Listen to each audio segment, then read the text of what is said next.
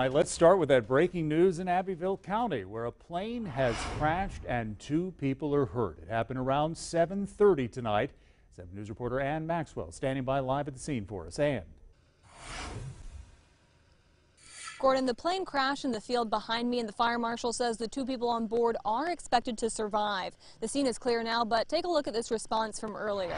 The, res the call came in a little before 8 o'clock tonight. The plane came to, to rest on the edge of a big field off Legion Lake Road. The Anderson County hazmat team came out to address a minor fuel leak caused by the crash. We're told that has pretty much been mitigated and the scene has been turned over to the landowner. The fire marshal says the plane was a 1940 43 single-engine Boeing E-75, and this happened just about 500 feet from Ashley Airfield.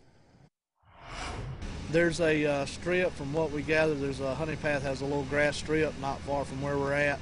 Um, that is where they generally fly from. He says the Federal Aviation Administration has been notified and they'll be out here as soon as tomorrow to investigate. Live in Abbeville County, Ann Maxwell, 7 News.